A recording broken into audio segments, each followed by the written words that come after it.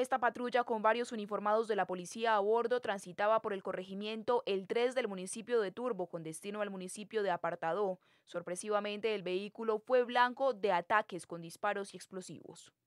Ahí son eh, atacados con eh, artefactos explosivos en una acción eh, heroica por parte de nuestros policías, la reacción, su entrenamiento, su conocimiento, efectivamente logran salir de esta situación reaccionando sin ningún inconveniente.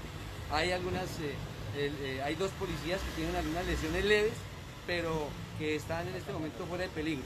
Las primeras indagaciones apuntan a que los responsables del atentado serían integrantes del Clan del Golfo. En este sector eh, delinque la subestructura central turbo del Gado Clan del Golfo y donde eh, consideramos que estos sujetos fueron los quienes ocasionaron este ataque contra nuestros policías. Las autoridades también contemplan la hipótesis de una supuesta retaliación del grupo delincuencial por los golpes contundentes de las autoridades contra los integrantes de la organización criminal. La información que se tiene y que, en la cual nosotros estamos trabajando activamente para neutralizar, es así que recientemente en el corregimiento de silencio, en una actividad operacional igualmente donde pretendían atentar contra los policías, fue neutralizado un delincuente de estos alias La Ova, delincuente que estaba en el cartel de los más buscados.